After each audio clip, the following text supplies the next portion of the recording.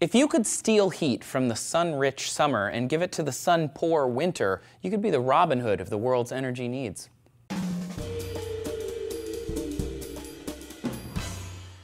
Hey there, Sunbeams. Trace here for DNews. Solar recently grabbed headlines when the Department of Energy found solar power generation employs more people than generating electricity from oil, coal, and gas combined. In part, it's because of construction, but also because solar workers do way more than just building solar panels. They also work on thermal energy projects. The sun provides enough energy in about one hour to power the entire planet for a whole year, and a lot of that is from heat. We're actually pretty bad at leveraging this free energy the universe gives us, but scientists are working to capture more of it. For example, researchers from Switzerland developed a new way to capture summer heat and store it all the way until wintertime by taking advantage of the chemical properties of sodium hydroxide, or NaOH. NaOH is a white crystalline odorless solid and it reacts with water. When you pour water on a mixture containing concentrated NaOH, it releases heat in what's called an exothermic reaction. To control the exothermic reaction, the researchers expose the NaOH to steam, allowing it to release small amounts of heat at a time, just enough to heat up a metal pipe. A solar collector can help reverse this reaction by evaporating the water, leaving NaOH behind. If water is added to the mixture again, the heat will again be released, and this back and forth can be reversed again and again and again. Right now, the NaOH system is still a prototype, so we haven't solved the world's energy needs just yet. But the researchers are looking for industrial partners to help commercialize their technology, which they think could be used to heat homes in the winter, all thanks to chemistry, water, and the sun. As you know, solar energy isn't constant. In the summer, we get more heat than we need, so we use energy to cool down. Come wintertime, we don't have enough heat, so we use energy to warm up again.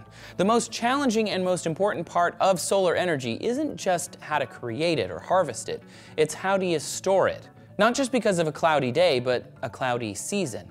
If we repeated this simple chemical reaction all summer, using the sun to add energy, the generated heat could be stored until needed in the winter, weaning ourselves off dirty fossil fuels.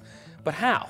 Batteries, they suck. We've talked about this a lot. They're actually one of the worst options for solar energy storage. Mostly because current batteries are limited in the number of times you can charge them, they're fairly expensive, and the types of batteries you would need for this application would be huge. With a bit more chemistry and physics, you can store the power of the sun in salt. Most power generation facilities use heat to generate steam and turn a system of turbines. Seriously, that's nuclear, coal, gas, solar, all of them. Wind and hydro, they turn the turbines with something else. The Abengoa Solar Solana plant in the Arizona desert uses over 3,000 parabolic mirrors to heat water and turn their turbines. But they can also focus the sunlight to heat large insulated tanks of salt, causing it to melt. The molten salt stores the energy gathered during the day, which can later be used to turn the turbines at night. Unfortunately, this strategy can only store energy for about six hours. To store energy throughout the year, we're going to have to get more creative, like by putting it underground, which is actually what the Swiss researchers suggested for their NaOH system, a geothermal probe Today, one of the most common strategies for seasonal solar thermal storage is known as borehole heat storage. This essentially uses the heat capacity of soil to store large amounts of heat underground for months. It works by drilling an array of boreholes from about 30 to 200 meters deep. During hot summer months, the heat is transferred to water, which is then stored deep in the soil and rock inside the borehole. That stored heat can later be extracted when needed and used for all sorts of things.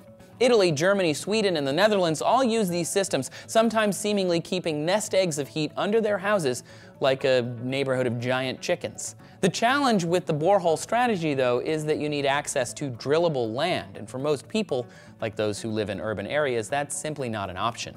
Hopefully someday, with a combination of solar thermal plants, geothermal and borehole facilities, as well as concentrated sodium hydroxide, we might get close to weaning ourselves off fossil fuels forever.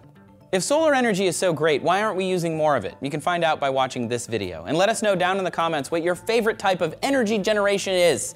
I really like nuclear. I know that's controversial. Let us know in the comments, make sure you subscribe, and thanks for watching DNews.